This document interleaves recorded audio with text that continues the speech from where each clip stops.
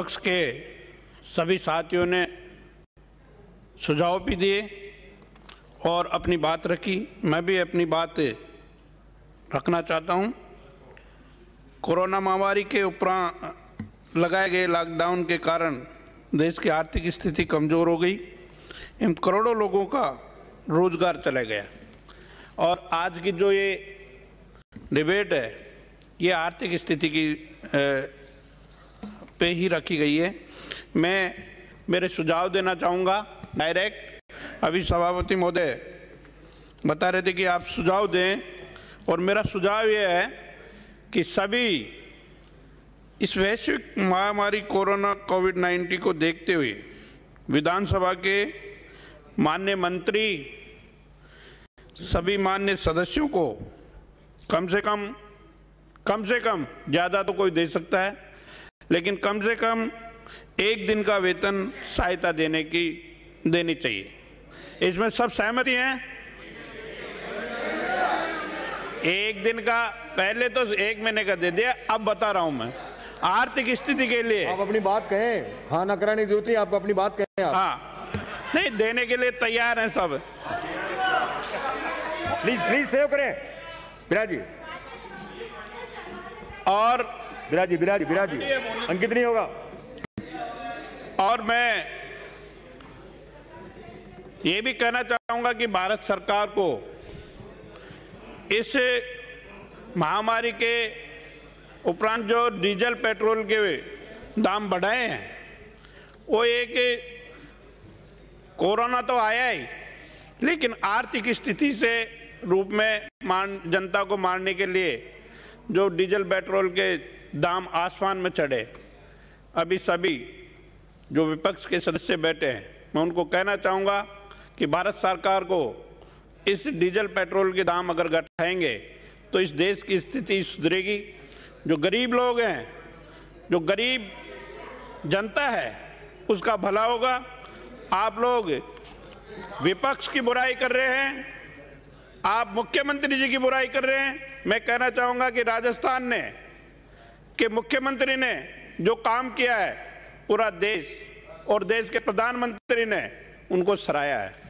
आपके बुरा बताने से न बुरा होगा, लेकिन जनता जान रही है, राजस्थान की जो जनता है, वो आदरणीय मुख्यमंत्री अशोक गहलोत जी को, जिस प्रकार उन्होंने लॉकडाउन में काम किया, और आप सब लोगों ने भी किया, हमने भी किया, और पूरी जो कई ऐसी संस्थाएँ और एजेंसियाँ हैं, उन्होंने इस लॉकडाउन के माध्यम से जो काम किया, वो एक सराहनीय है।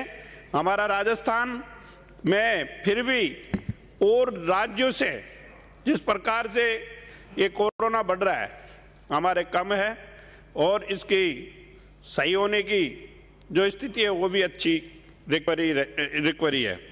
मैं इस माध्यम से ये भी कहना चाहूँगा कि जो नरेगा गाँवों में जो स्थितियाँ कमज़ोर हो गई, लोगों की रोज़गार चले गई, करोड़ों लोगों के रोज़गार चले गए। उस स्थिति में जो गाँवों में, नरेगा में जो मजदूरी काम कर रहे हैं, अभी हमारे माननीय सदस्य शकुंतला जी ने कहा कि उनकी मजदूरी बढ़नी चाहिए। निश्चित रूप से कि अगर नरेगा की मजदूरी बढ़ेगी तो गाँवों में पैसे आएँगे उन लोगों की स्थिति की सुधार होगा। मैं ज़्यादा कुछ नहीं कहूँगा, लेकिन आप लोगों को मैं ये कहना चाहूँगा कि जो भारत सरकार, जो राजस्थान के जो बचे हुए पैसे हैं, उनको भी अगर दे देगी तो यहाँ राजस्थान की स्थिति सही हो जाएगी। आपसे निवेदन है कि आप जीएसटी के पैसे के लिए कह रहे थे तो जीएसटी कोई भारत सरकार के थोड़ी है। हमारे हक के पैसे दे रही हैं। उसमें कोई दिक्कत नहीं है। तो मैं ज़्यादा कुछ नहीं कहते हुए धन्यवाद देना चाहता हूँ और इस कोविड 19 जो कोरोना है, इससे बचने के लिए हम सब एकजुट हैं।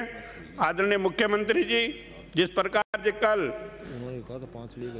राजीव गांधी जी के जन्मदिन पर जो इंदिरा रसोई के नाम से जो पूरे राजस्थान में एक बहुत बड़ा काम किया है क्योंकि जो गरीब लोग हैं ये सुन लो आप सुन लो। जो गरीब लोग हैं उनको सस्ता भोजन ये पहली बार ऐसा पूरा सुनो तो सही। आपको खड़ा होने की अरे बैठिए। बैठिए पागल हो गए क्या? पागल हो गए। बैठ जाइए। मैं ये कह रहा हूँ पूरे देश में पहली बार पूरे देश में पहली बार बैठे नहीं बोले प्लीज़ सम्मान से सम्मान से बैठा के बिराजिए बिराजिए बाप बिराजिए भोजन कराने का काम किया है। तो आदरणीय मुख्यमंत्री जी ने इंदिरा रसोई के नाम से किया है और आपको मानना पड़ेगा। बहुत बहुत धन्यवाद जय हिंद। अन्य सब